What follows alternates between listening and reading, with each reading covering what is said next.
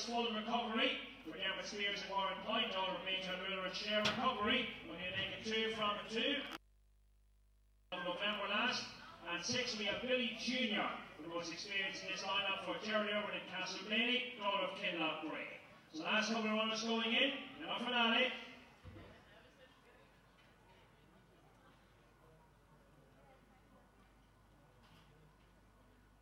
So one again, Life for Good, two Donovan Diva, three Clinor Alicia, four full recovery at six Billy Jr. Finish line number one.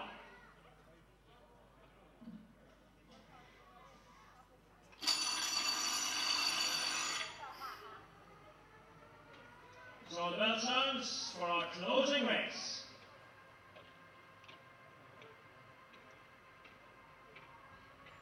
Away they go. It's number two at Smarty. Dornament Diva to the bend leads from six now going up one on the outside. That's Billy Jr. One now getting involved as well. Out for good, but number six now takes perhaps a decisive lead. And it's Billy Jr. showing plenty of speed around the bottom bends.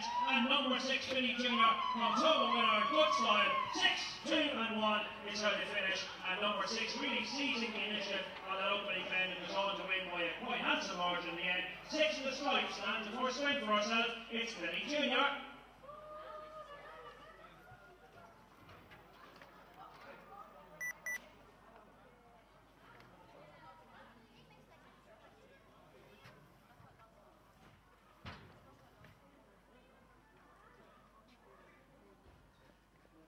Oh, so three was fifth. This is seven and a half lengths short head, five lengths and one length. Time 1930, section 749.